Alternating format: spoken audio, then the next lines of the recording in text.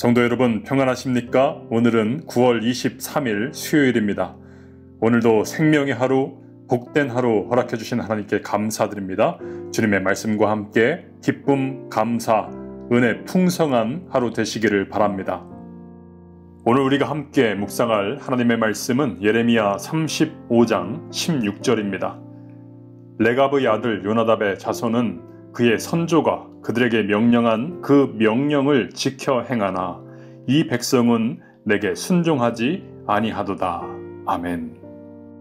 예레미야 선지자는 어제 본문에 이어서 오늘도 계속해서 레갑 족속, 즉 요나답 가문 사람들에 대해서 말씀을 주고 있습니다. 이 가문 사람들은 무려 200여 년 이상 그 집안만의 특별한 신앙 전통을 고수해 오고 있었지요. 이 가문 사람들은 평생 포도주를 마시지 않았습니다. 땅과 집도 소유하지 않았습니다.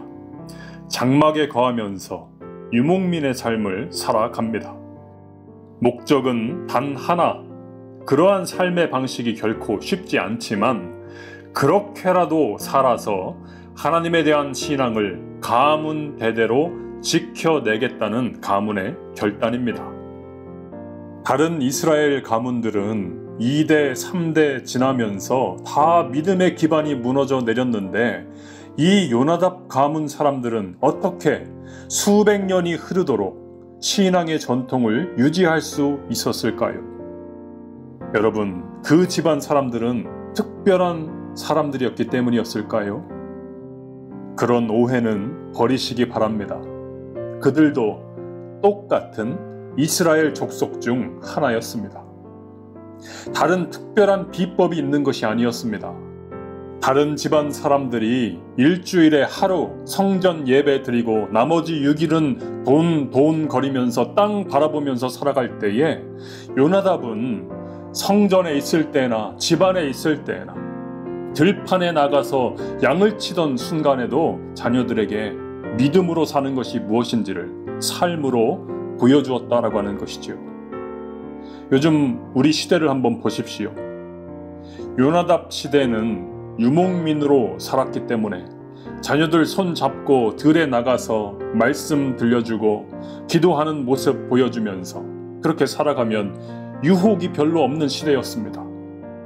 그러나 여러분, 오늘날은 그때와는 비교도 할 수 없을 정도로 우리 자녀들의 믿음을 흔드는 요소들이 너무나 많습니다.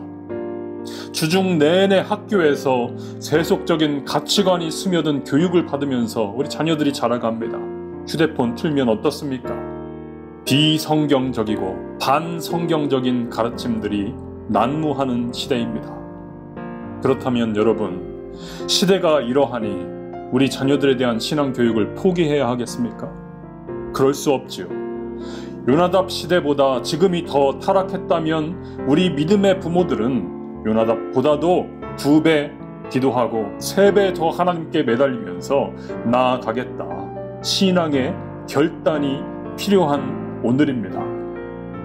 주일에 한 번 교회 가서 예배 드리는 것으로 신앙의 계승이 잘 이루어질 것이다 라고 하는 그런 기대는 빨리 지워버리기 바랍니다. 우리 가정이 성전이 되어야 하고 부모의 삶이 그 자체가 살아있는 믿음의 모델이 되어야 합니다. 어떻게 하면 1등이 될 수 있을까? 어떻게 하면 경쟁에서 이길까? 어떻게 하면 더 많은 부를 축적할 수 있을까? 그것이 아니라 성공했어도 하나님 없으면 실패한 것이고 모든 것을 잃었다 할지라도 믿음이 있다면 다시 일어날 수 있어. 하나님이 너의 인생의 주인이야. 하나님이 너와 함께 하신단다. 하나님은 반드시 너를 최선의 길로 인도해 주실 것이다. 라고 하는 이 신앙이 교육되는 복된 믿음의 가정이 되시기를 주님의 이름으로 축원합니다. 기도하겠습니다. 하나님, 신앙 지키기가 참 어려운 시대를 살아갑니다. 각 성도의 가정을 붙들어 주옵소서. 우리 부모 세대의 영을 깨워 주옵소서. 자녀의 믿음을 위해서 오늘도 기도하며 나아가는 우리 부모 세대가 될 수 있도록 인도하여 주시옵소서. 예수님의 이름으로 기도하옵나이다. 아멘.